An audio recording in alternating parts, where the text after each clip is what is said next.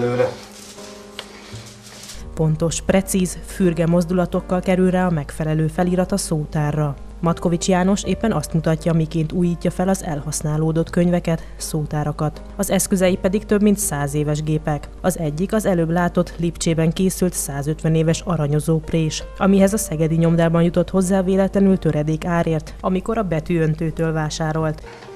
Ja, igen, most a könyvkerincet kicsit meggömbítettem hozzá. Ezt követően bejelöli, hogy a könyv eleje és vége nehogy felcserélődjön, majd pontosan beilleszti a lapokat, végül ragasztóval rögzíti a könyvgerinchez. Tehát ilyenkor ezt az előzék lapot, az itt egy előzék, ez köti a könyvtáblát a könyvhöz. Ezt megkenem ragasztóval. Kicsit megáztatom. Következik a könyv tartalma a borító közepére, egy-két igazítás, újabb adag ragasztó, végül a présbe kerül az új köntösbe került szótár. Matkovics János hosszan beszél az ólombetűkről, amiket már régóta nem gyártanak, és elvétve lehet fellelni azokat egy-egy gyűjtőnél. A szakember, hogy megmutassa, hogy is működik ez, rögtön kirakja a hosszú és nem könnyen leírható vezetéknevemet, gyakorlott mozdulatokkal teljesíti kérésemet. Azt mondja, ez is több évtizedes munkatapasztalat eredménye. Matkovics János azt mondja, egyértelmű volt, hogy a könyvkötéssel keresi majd a kenyerét. Ez végül az évek során vált a hivatásává, életének mozgató rugójává. Nagyon szerettem mindig is olvasni. És elég korán megtanultam, megtanultam olvasni. Talán 7 éves voltam, és azokat a könyveket, amiket a szüleim olvastak fel nekem, meséket, mi egymásokat, azokat már én elkezdtem bújni egészen 14 éves koromig nagyon sokat olvastam, tehát mikor kicsaptak anyám az egy hétre a vakáció alatt, akkor mindig egy kazalkönyvvel mentem. És elérkezett a pályaválasztás ideje, és egyszerűen magam sem értem azt, hogy miért nem kötöttem a következő lépést, hogy milyen döntést hozok a könyvekhez, miért nem lettem nyomdász, miért nem gondolkodtam azon, hogy könyvkötő leszek, esetleg betűszedő, és ezt eldöntöttem az osztályfőnököm. Azt mondta, hogy Matkovics, te szeretsz olvasni, szereted a könyveket, te könyvkötő leszel. Ilyen kinyilatkoztatás szinten meg volt a verdikt, én pedig beírtam azt, hogy könyvkötő, és így maradtam. Szexárdon jártam, az 505-ös szakmunkásképzőbe, ott volt a elméleti képzés, a gyakorlati pedig a Szexári gyomdában, volt egy nagyon klasszul főszeret kis tanműhely. Tényleg minden meg volt benne, egy igazi minta volt a számomra, később, mikor itt összeszedtem a dolgaimat.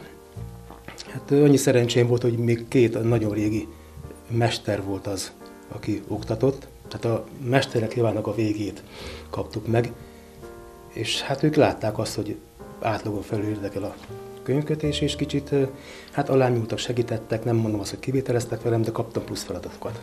És az a megtiszteltetés ért már akkor a tanulóidőmnek a felén, hogy amiket szakdolgozatokat a nyomdába hoztak beköttetni, azt eddig mindig a mester csinálta, és ezeket mind rám bízták, és ez valóban megtiszteltetés volt és öröm.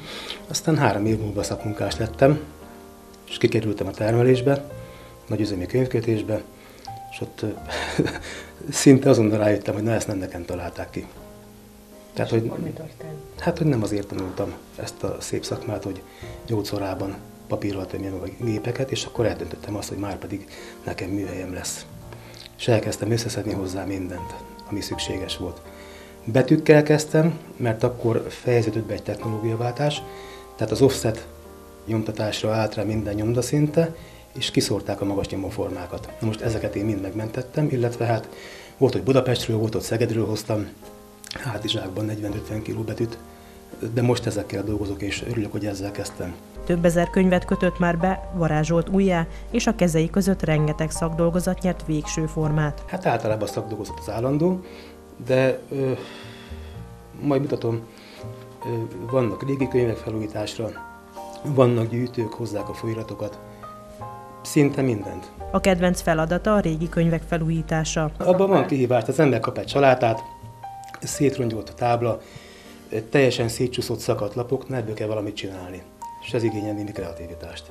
És ez tényleg kihívás, és néha nekem is jól esik azt, hogy megnézem azt, hogy milyen volt előtte, és hogy milyen szép dolog kerekedett ki belőle. Kell hozzá szép látás, szép érték, arányérzék és igényesség.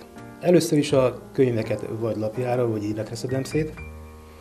A rossz éveket, rossz napokat kijavítom, újra fűzöm, levágom a szélét, és elkészítem hozzá a könyvtáblát. A szakember rengeteg megbízást kap, noha ő is tapasztalja, hogy a könyv és az olvasás iránti igény átalakult. Matkovics János ennek ellenére kitartana akkor is a szakmája mellett, azt is elárulta, hogy miért. Most mondjam azt, hogy ez az életem?